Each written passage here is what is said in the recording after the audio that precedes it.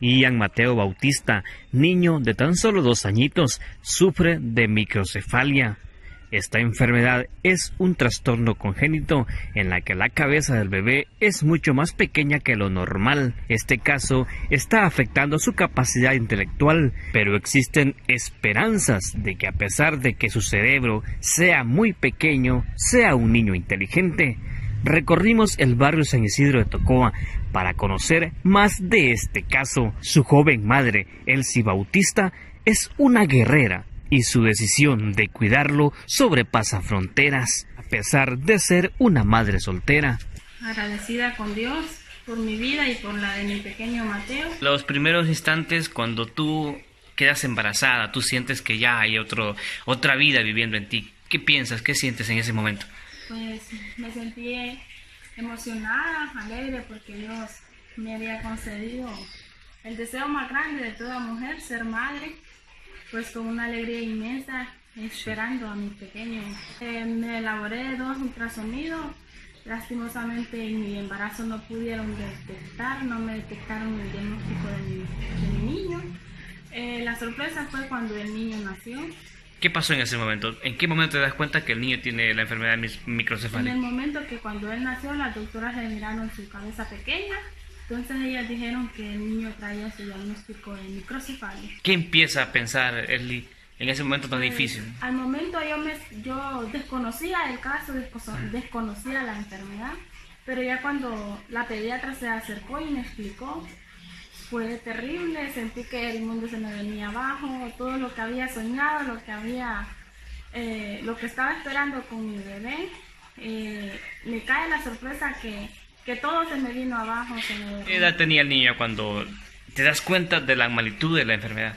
Ya cuando él empezaba sus cuatro meses, que yo veía que él no hacía lo que un niño de su edad tenía que hacer.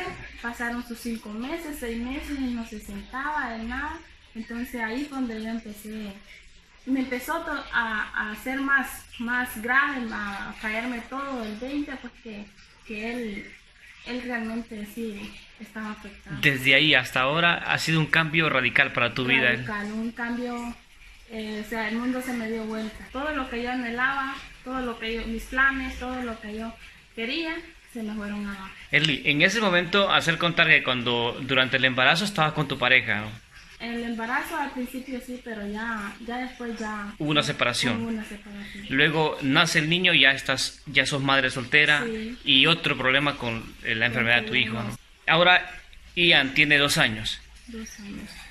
¿Qué te ha tocado hacer para tenerlo así, para atenderlo? Porque me has contado que has renunciado a muchas cosas y una de esas es el trabajo. Sí, eh, pues me ha tocado enfrentarme a muchas cosas renunciar a muchas, a muchas cosas, como por ejemplo mi prioridad es el trabajo, pero ahora no es el trabajo mi prioridad, ahora es mi, mi niño, renunciar a a X trabajos por la atención, por los cuidados, por darle lo que mi niño... Sí, no se lo podías confiar a nadie, ahí a él, ¿por qué? No se lo podría confiar a nadie porque él hay que tener demasiada paciencia y para la paciencia solo está, solamente Y el mundo te viene encima porque tiene que trabajar, nadie da el sustento de, tu, de tu casa. Tengo que ver, buscar la manera cómo salir adelante, cómo darle su leche, cómo darle de comer, cómo, cómo lograr recaudar fondos para poder viajar a Tegucigalpa. Y el niño va a terapias agricol. Sí. ¿Y a Tegucigalpa? A Tegucigalpa va, lo llevo a, a chequeos con el neurólogo, al hospital escuela con el oftalmólogo. Sí, ahora que ya conoce un poco de enfermedad, el, el niño va a poder caminar, va a poder hablar. ¿Qué, qué, qué sabes ahora? Pues hasta los momentos los, los neurólogos no me han dado un no me han dicho qué es lo que mi niño va a hacer y lo que no va a hacer, pero la fe que yo tengo en Dios es más grande que todo y yo sé que mi niño lo va a lograr. Lo va a lograr, sí. Me decías que necesita cuanto antes máquinas para que hagan terapias en, la casa. Actualmente no, no, no cuentas con nada de eso. No, nada.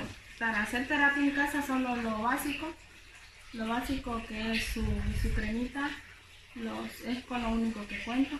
¿Qué sabe hacer? Él llora, él se ríe, él escucha. Él, escucha, él llora, él, él, se ríe.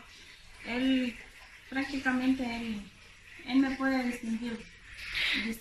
Él sí me decías que la peor guerra o el peor desafío que te has enfrentado con a raíz de la enfermedad de tu hijo, quizás no es con la enfermedad ni con el niño, sino es con la sociedad que muchas veces busca marginar. ¿no? Lo difícil, como le decía, que lo difícil es, no es tanto lidiar con, con mi criatura, no es tanto lo que tengo que luchar por él, sino que tengo que, que lidiar, que luchar con la sociedad, que no, no aceptan los, la- los niños especiales, las personas con discapacidad. Los tratan de ocultar. Elsie? Sí. Hay, hay, hay, hay casos.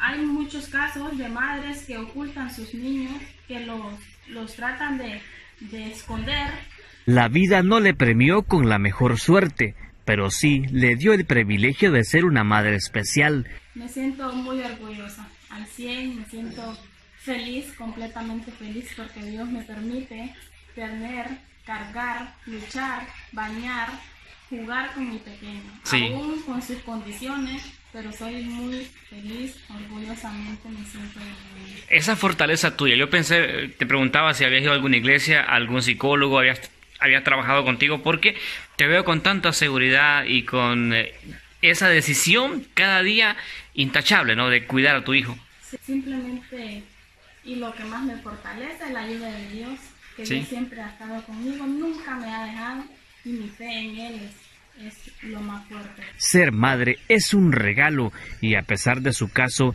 incitó a toda aquella mujer que ya es madre a que cumplan de buena forma el papel de madre. Pues solamente que se sientan orgullosas. El ser madre es, es algo muy lindo, pero mucho mejor cuando Dios te escoge para una mamá especial. Eh, un consejo, saca a tu niño, enfréntate, lucha por él, hazlo feliz con el simple hecho de, de que él se sienta orgulloso de ti, de que no lo escondes, sino que lo, lo, lo pones al mundo para que el mundo lo vea. Uno de los deseos como madre son esas cosas que quizás muchos no se detengan a valorar. Lo que más le pido a Dios, ver que mi niño camine, que mi niño me le dé vuelta a mi casa, me haga los desastres que él quiera, jugar a los charcos como él quiera, es mi mayor anhelo y yo sé que con la ayuda de Dios y mi fe en él lo vamos a lograr. A pesar de, de que uno no está preparado, porque ninguna mamá está preparada para ser una mamá especial, todas mamás deseamos y anhelamos sus niños alentaditos, normales, pero así me tocó, Dios me escogió y Él sabe por qué me escogió y pues solamente desde el momento de que Él me lo dio, yo he aprendido a amarlo, a cuidarlo sobre todas las cosas. Aquí estoy porque el amor que siento por mi hijo es más grande que todo. Existe algo en esta joven mujer que le hace fuerte y desde ese punto lo que desea es que su hijo sea asistido en mejores hospitales con atención especial para este caso. Lo que me encantaría y poderle encontrar un tratamiento para mejorar su calidad de vida, eh, terapias especiales, que ya que no contamos en nuestro país, entonces poder que tener el apoyo para encontrar, para lograr tener una visa para que el niño lo que sea esté dispuesta a hacer con tal de, de su bienestar, de su mejoría. ¿Qué edad tiene ahora? Dos años. Has hecho rifas, has hecho actividades cada día, la gente te apoya y qué agradecimiento tiene para esa gente. Estoy muy agradecida con esas personas que, que me han sido de mucha ayuda, tanto apoyo ayudándome con la compra de, de cada actividad, tanto también como esas personas que me sirven de mucha ayuda con palabras que me ayudan a, a motivarme y a seguir adelante. Aquí estoy porque el amor que siento por mi hijo es más grande que todo.